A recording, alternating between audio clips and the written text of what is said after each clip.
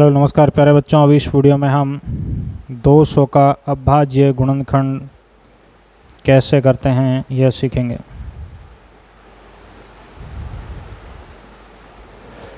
अभाज्य गुणनखंड करने के लिए हमें क्या चाहिए? अपने अभाज्य संख्याएँ चाहिए। दो, तीन, पाँच, सात, एक से लेकर दस तक की संख्याएँ, यह आपकी अभाज्य संख्या है। प्राइम नंबर तो बच्चों, सर्वप्रथम हम क्या करते हैं? अपना इसमें दो का भाग करते हैं। अभाज्य गुणनखंड का मतलब क्या होता है? किसी भी संख्या को अभाज्य संख्या के गुणनफल के रूप में लिखना। मैं हूँ सुरेंद्र खिलेरी। चलिए आगे शुरू करते हैं। अन्य वीडियो देखने के लिए हमारे चैनल की प्लेलिस्ट पर विज़िट करो। तो देखिए। दो का भाग कितनी बार गया? एक बार कितना आ गया? दो माइनस किया, ज़ीरो आ गया। ज़ीरो को मैं यहाँ ले आया। ज़ीरो में किसी भी संख्या का भाग ज़ीरो बार जाता है। माइनस किया, ज़ीरो आ गया। फिर इस ज़ीरो को मैं यहाँ लेके आया। ज़ीरो में किसी भी संख्या का भाग ज़ीरो बार जाता है। फिर ज़ीरो आ गया। कंप्लीट हो गया।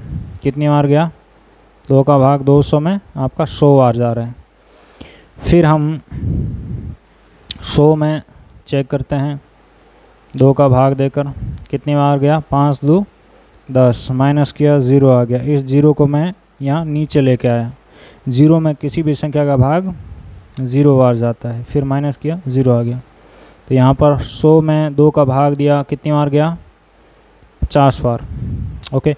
फिर हम चेक करते हैं, पचास में दो का भाग देकर कितनी बार गया? दो बार। दो दो, चार। माइनस किया, एक आ गया। ज़ीरो को ऊपर से नीचे ले आओ।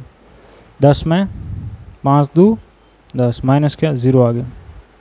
दो का भाग किया मैंने पचास में, कितना मिल गया? पच्चीस। अब देखिए, पच्चीस में हमने दो का भाग देकर देखा तो पच्चीस आपका दो से विभाज्य नहीं है। ठीक है? विभाज्य नहीं का मतलब क्या होता है? सेंसफल ज़ीरो नहीं आ, नहीं आता है तो उस उस स्थिति को हम क्या कहते हैं? कि यह संख्या विभाज्य नहीं है। तो तीन का चेक किया, तीन से विभाज्य नहीं है। पाँच का चेक किया, पच्चीस में। तो यह पाँच बार कितना आ गया? पच्चीस माइनस किया, ज़ीरो आ गया। यानी ये आपका पच्चीस किससे विभाज्य है? पाँच से विभाज्य। जब विभाज्य नहीं होगा तो हम क्या करेंगे? कर्म से आगे बढ़ते जाएँगे, ओके? कितनी बार पाँच बार फिर पाँच में पाँच का भाग आपका एक बार तो हमारे पास दो सौ के ये अभाज्य गुणनखंड आ गए, जिसमें दो कितनी बार आ रहा है? एक, दो, तीन। पाँच कितनी बार आ रहा है?